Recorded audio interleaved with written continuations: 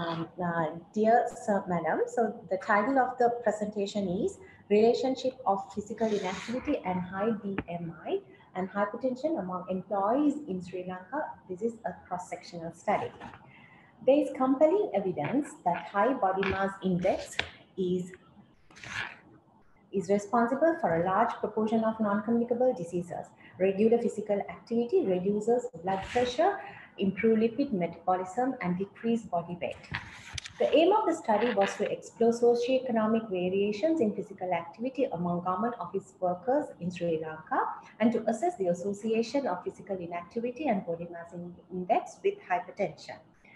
Since hypertension is a major public health threat and working age group population are at high risk and social determinant as work so determinant and work as a causal causal, uh, causative factor of unhealthy lifestyle, we study the prevalence and correlates of hypertension among selected categories of government public administrative officers.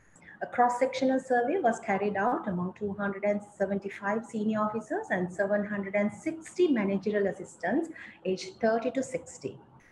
Physical activity was measured using the International Physical Activity Questionnaire which is validated to the Sri Lankan context and blood pressure was measured and biomedical parameters were recorded.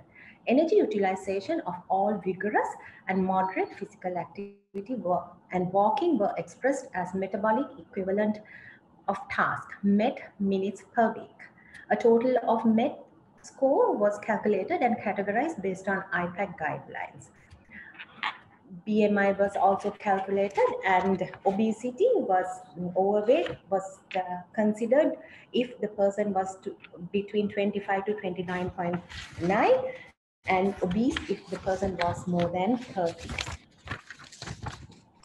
Of the senior officers, 58%, 23%, and 19% were involved in low, moderate, and high physical activity, respectively and considering BMI, 3%, 28%, and 19%, and 50% of the SOs were in the underweight, normal, overweight, and obese categories. Of the MS, 30%, 68%, and 2% were involved in low, moderate, and high physical activity levels, respectively.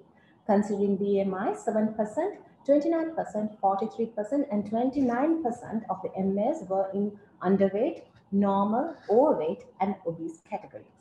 The mean met, the met minutes per week were, the mean met minutes per week was 2,739.5 for SOs and 3,343 for MAs.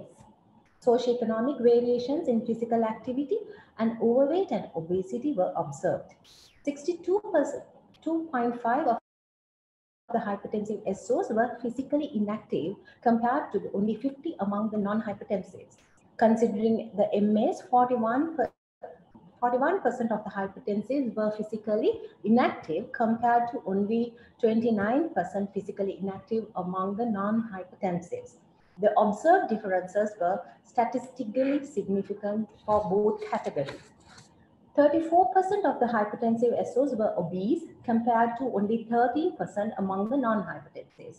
Considering the MS, 37% of the hypertensives were obese compared to only 14.6 among the non-hypertensives. The observed dif differences were again statistically significant for both categories. And to conclude, physically inactivity and overweight and obesity were prevalent among the office workers. Socioeconomic variations in physical activity levels were observed. Physical inactivity and overweight obesity were associated with hypertension. Amid soaring health spending, there is growing interest in workplace disease prevention to improve health. Wellness should be well integrated for integrating well-being into the workplace. Thank you.